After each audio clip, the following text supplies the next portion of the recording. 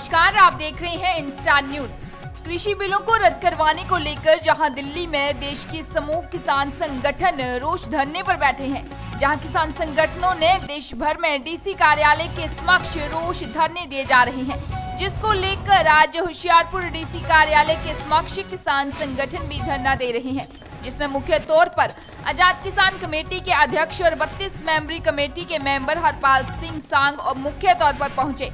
उन्होंने केंद्र सरकार की किसान विरोधी नीति को लेकर बात करते हुए कहा कि कृषि कानून किसान के हित में नहीं है, जिसको लेकर देश का किसान एक मंच पर एकजुट होकर केंद्र सरकार के खिलाफ इस काले कानून को रद्द करवाने के लिए संघर्ष कर रहा है, जिसको लेकर आज पूरे देश में डीसी कार्यालयों के समक्ष एक दिवसीय रोष प्रदर्शन किया जा रहा है। उन्होंने कहा कि आने वाले समय में किसान इस आंदोलन को और तेज कर देंगे, जिसके लिए खुद केंद्र सरकार जिम्मेवार होगी।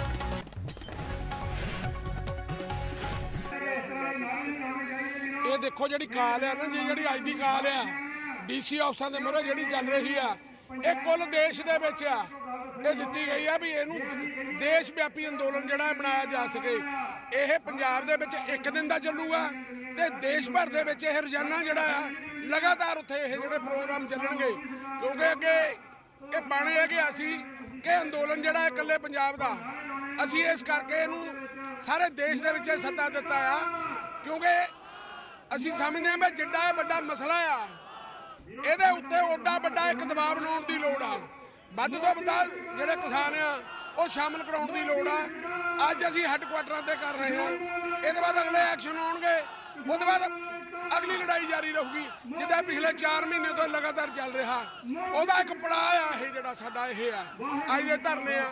ਇਸ ਕਰਕੇ ਇਹ ਸਾਰਾ ਸੰਯੁਕਤ ਮੋਰਚੇ ਦੀ ਜਿਹੜੀ ਅਗਵਾਈ ਥੱਲੇ ਹੋਊਗਾ, ਇਹ 'ਚ ਜਿੰਨੀਆਂ ਜਥੇਬੰਦੀਆਂ, ਉਹ ਸਾਰੀਆਂ ਇਹਦੇ ਵਿੱਚ ਸ਼ਾਮਲ ਹੋਣਗੀਆਂ, ਕਿਉਂਕਿ ਅਸੀਂ ਸਮਝਦੇ ਆ ਕਿ ਮੋਦੀ ਆ ਜਿਹੜੀ ਸਰਕਾਰ ਆ, ਆਮ ਲੋਕਾਂ ਦੀ ਸਰਕਾਰ ਨਹੀਂ, ਕਾਰਪੋਰੇਟ ਘਰਾਣਿਆਂ ਦੀ ਸਰਕਾਰ ਆ, ਤੇ ਉਹ ਸਿਰਫ ਇਸੇ ਕਰਕੇ ਗੱਦੀ ਤੇ ਆਈ ਹੈ ਕਿ ਉਹਨਾਂ ਨੂੰ ਲਾਭ ਦਿੱਤਾ ਜਾ ਸਕੇ।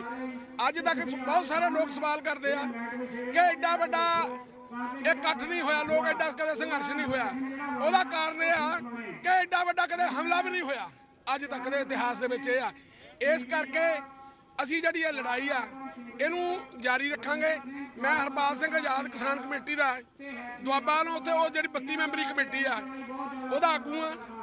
ਤੇ ਅੱਜ ਇਸੇ ਕਰਕੇ ਇੱਥੇ ਸ਼ਾਮਲ ਹੋਣ ਮੈਂ ਇੱਥੇ ਇੱਥੇ ਆਇਆ। ਕਿਉਂਕਿ ਇਲਾਕੇ ਦੇ ਲੋਕਾਂ ਦੀ ਇੱਥੇ ਡਿਮਾਂਡ ਸੀ ਕਿ ਤੁਸੀਂ ਇੱਥੇ ਆਓ। ਮੈਂ ਉੱਥੇ 25 ਤਰੀਕ ਦਾ ਉੱਥੇ ਜਾ ਕੇ ਪਹੁੰਚਿਆ ਹਾਂ ਤੇ ਅਸੀਂ ਇਹਨੂੰ ਹੋਰ ਪਿੰਡਾਂ ਦੇ ਵਿੱਚ ਫੈਲਾਵਾਂਗੇ, ਸੱਦਾ ਦੇਵਾਂਗੇ, ਹੁਣੇ ਮੈਂ ਸਟੇਜ ਤੋਂ ਦੇਵਾਂਗੇ ਕਿ ਲੋਕਾਂ ਨੂੰ ਇੱਕ ਇੱਕ ਚੀਜ਼ ਜਿਹੜਾ ਹਰ ਘਰ ਦੇ ਵਿੱਚੋਂ ਉੱਥੇ ਸ਼ਾਮਲ ਹੋਣਾ ਚਾਹੀਦਾ। ਅਸੀਂ ਹੋਰ ਦਬਾਅ ਬਣਾ ਸਕੀਏ, ਹੋਰ ਵੱਡਾ ਇਕੱਠ ਕਰ ਸਕੀਏ ਤੇ ਉਹਨੂੰ ਜਿਹੜੇ ਬਿੱਲ ਵਾਪਸ ਲੈਣ ਲਈ ਮਜਬੂਰ ਕਰ ਸਕੀਏ।